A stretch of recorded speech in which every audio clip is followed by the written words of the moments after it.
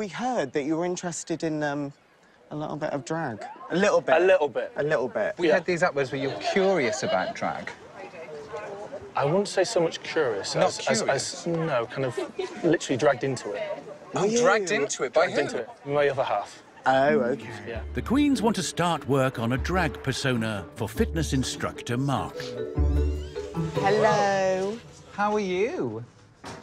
More relaxed than uh, last night. I think uh, Was got it out of my stressful? system. Oh, look at you guys. I mean, it's not every day that you um, see this. So, um, yeah. What do you imagine you're going to look like? Um, no idea. Just so happens on this table we have a whole load of makeup. We thought we might just see what happens if we get you having a bit of a play. Yeah. How do you feel about that? Terrified. this off. In my head, this isn't right. I'm doing something wrong. I'm a man. I'm happy to be a man, and I don't do this. To address Mark's struggle to embrace his inner drag, Cheddar and Anna have arranged to meet him for a pint. They're wondering if he'll be more at ease talking man to man. God, it's full of surprises, this, isn't it? We wanted to meet you out of drag just to show you that we're not like that all of Yeah. the time, and actually being Anna's fabulous, but I also enjoy being a man as well, you know, so I, I can be many different people, so it'd be great to kind of break break you out of this kind of mold, this regimented, Fixed persona, kind yeah, of. And, and see whether there's another aspect of your persona. I just felt like I don't want. I didn't feel comfortable making myself feminine. Right, so we're going to have to try your outfit on to make sure that it fits correctly. Okay. To keep the final outfit a surprise, Lil has asked him to wear a blindfold. This is very weird, very strange. Probably the most uncomfortable I've ever felt in my life. Why do you feel uncomfortable? Although people look at me and think I must be um, body confident, I'm not. Um, Right. so this is this is hard. Yeah. I was always a big, tall lad, but I was very overweight.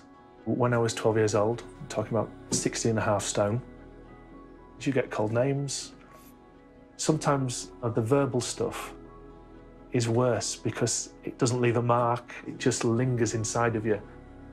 And I just found that very difficult. I shouldn't be body conscious, but I am.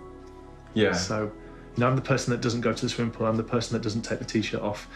Um, I don't walk around in vests, anything like that. So, um, so like I said, this for me is really hard to stand here like this.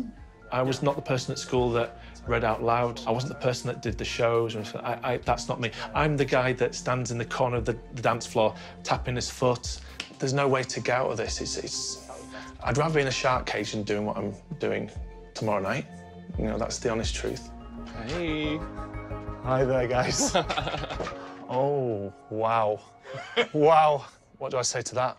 Camo and pink.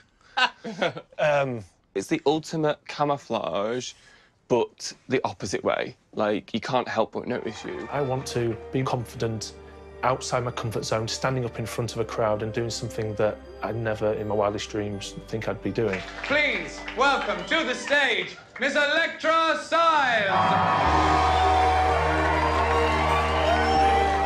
All week I've been terrified every single day of what's coming, but I'm so glad I did this. Actually, probably made me stronger because I, I can get out of that rigid mentality now. Although I can't stop doing this with my hand on my hip now, I've got to get rid of this.